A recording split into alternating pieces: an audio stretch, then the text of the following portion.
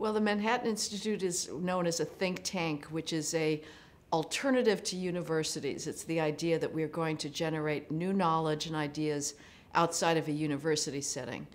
Uh, I had no awareness of the Manhattan Institute, I'll be very honest, uh, for all of my life, uh, and was not even a conservative. I certainly don't consider myself a libertarian, but I had started writing uh, when I was in New York in the 90s on issues of culture, postmodernism, multiculturalism, and had written a piece uh, that would kind of represent a direction I would ultimately go in on personal responsibility that was about a stampede up at the City University of New York, City College during a rap basketball charity game.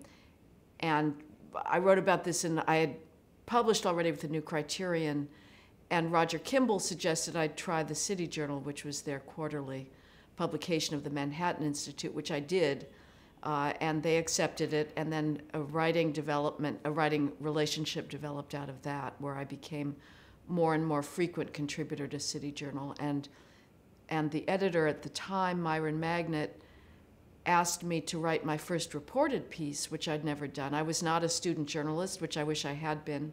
I, I admire students that take time away from their studies and learn the ropes of being a journalist. I, I was such a perfectionist in college. I always blew through paper deadlines uh, and was granted leeway, which was preposterous.